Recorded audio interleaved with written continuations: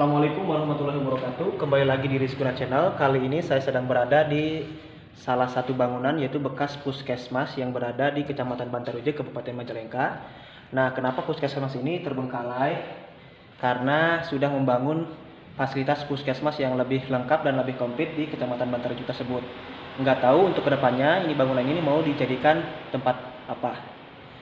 Bagi yang penasaran atau yang pernah berkunjung ke puskesmas ini, yang waktu dulu pernah dirawat atau menunggu pasien di sini barangkali sekarang suasananya ber, suasananya berbeda dengan dahulu. Kalau dahulu banyak orang banyak perawat banyak dokter dan banyak pasien juga yang dan penunggu pasien. Kalau sekarang sangat sepi. Jangan lupa subscribe di channel karena subscribe itu gratis. Terima kasih yang selalu mensubscribe dan juga menonton video, video dari Rizguna Channel sampai selesai. Saya doakan agar selalu diberikan kesehatan, kelancaran dalam urusan mencari rezeki.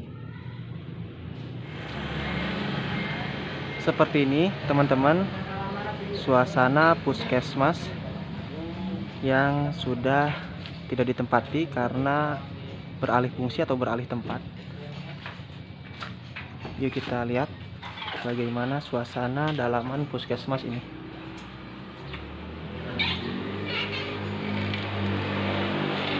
Nah ini merupakan tadinya itu mungkin tempat administrasi poli umum.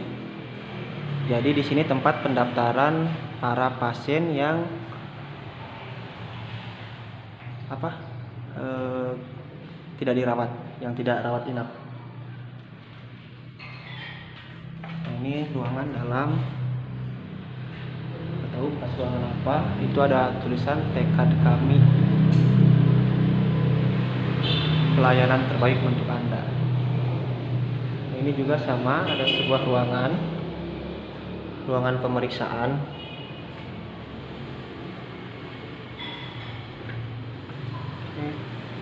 Nah ini banyak sekali perabotan-perabotan yang tidak sudah tidak digunakan lagi, seperti meja, kursi dan juga yang lainnya.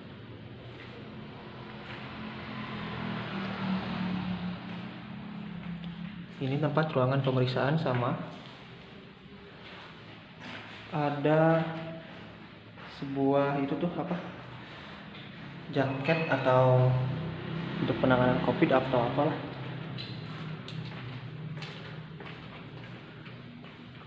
Oke.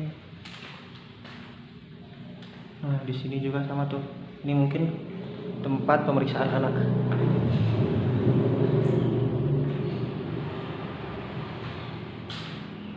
Jadi puskesmas ini sebenarnya tadinya berfungsi baru saja sekitar beberapa bulan dikosongkan karena puskesmas yang baru pindah tempat tempat USG untuk cek apa ya eh, kehamilan.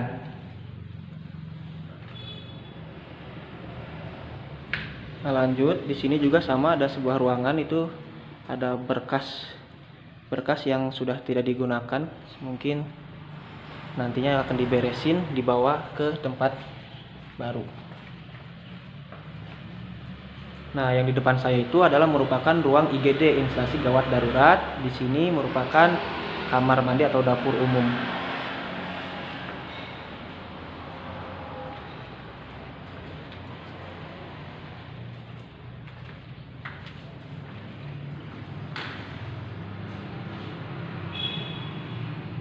Pasien bukan sorry. Mungkin bukan kamar pasien ini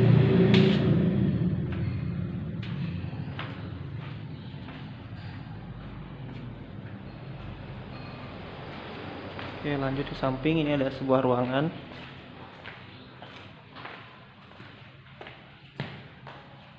Tuh. Ada ini kayak sebuah bekas laboratorium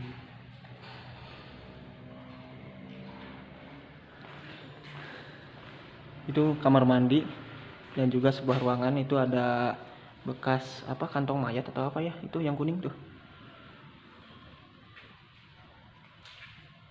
Nah ini sudah dikemasi sudah dimasukkan ke dalam karung. Barang-barang yang berada di sini mungkin mau diangkut atau apa atau dipindahkan ke tempat yang baru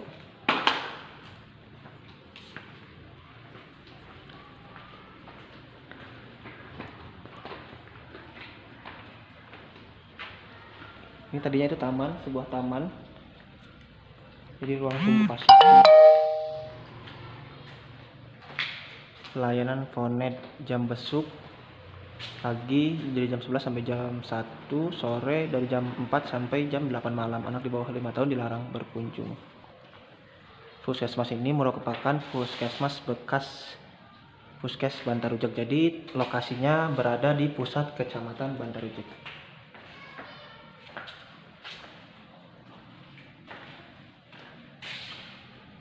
nah ini ruang kamar rawat inap.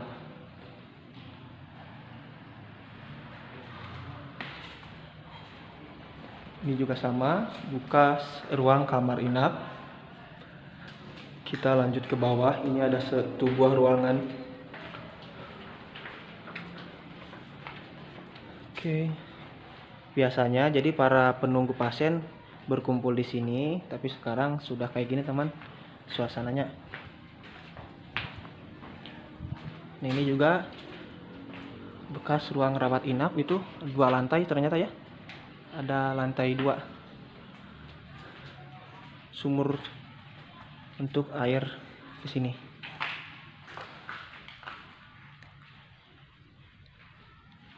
Ini juga sama buat kamar rawat inap. Ada bekas kasur dan juga ranjang bagi pasien terdaftar dahulu.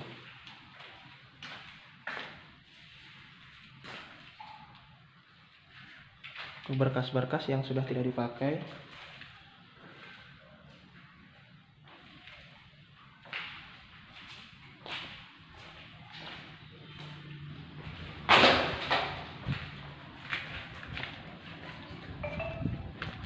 Kita lanjut berjalan ke sini ini ada salah satu ruangan. Banyak sekali sampah atau apa ya? Iya mungkin sampah ini. Bekas bantal dan juga yang lainnya. Dapur umum ternyata di sini. Ini yang merupakan dapur umum dari puskesmas tersebut.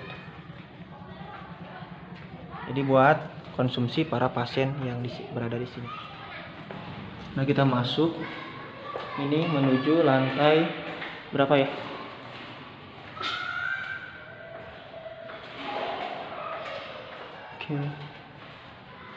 ini tempat jaga dokter. Ini di sebelah sininya rawat inap.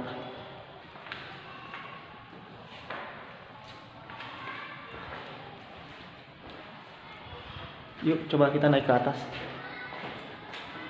Kita naik ke atas teman-teman. Di sini ada ruangan apa saja? Mungkin di atas ini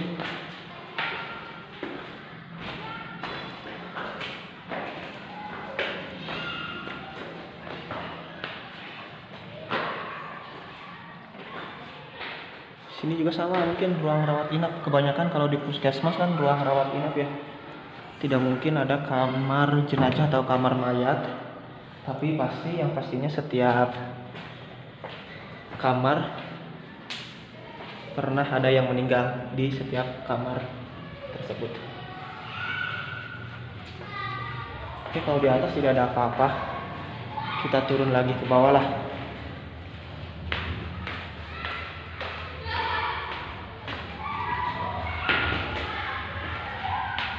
Nah kebetulan ini di, di dekat area pemukiman warga di belakang puskesmas ini ada sebuah pondok pesantren.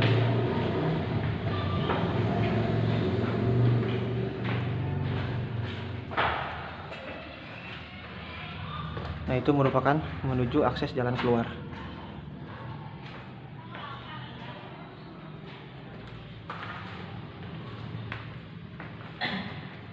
Itu ada sebuah ruangan khusus kita masuk ke sini. Nah. Ya.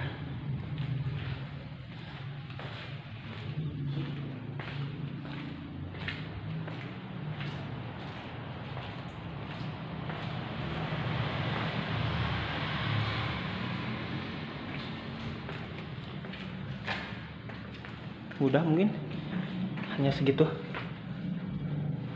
Oke, mungkin cukup sekian explore saya kali ini bagaimana suasana puskesmas Bantar Ujek yang sudah tidak terawat, yang sepi tanpa ada pengunjung. Kalau dulu di sini banyak ramai sekali, banyak orang yang berdatangan ke sini, tapi sekarang sepi karena puskesmasnya sudah pindah di tempat yang lebih layak, tempat yang lebih bagus.